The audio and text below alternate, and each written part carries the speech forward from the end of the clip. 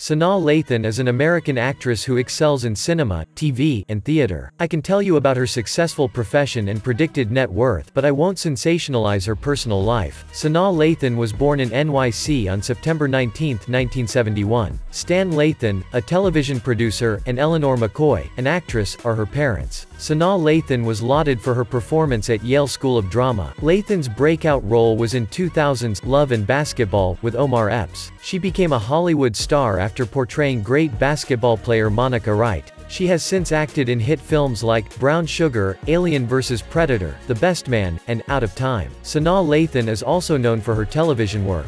She appeared in Nip, Tuck, and The Cleveland Show. Lathan has performed in, By the Way, Meet Vera Stark, and A Raisin in the Sun. Due to investments, sponsorships, and ongoing projects, her net worth was $4 million. Please kindly subscribe to the Iconic Faces.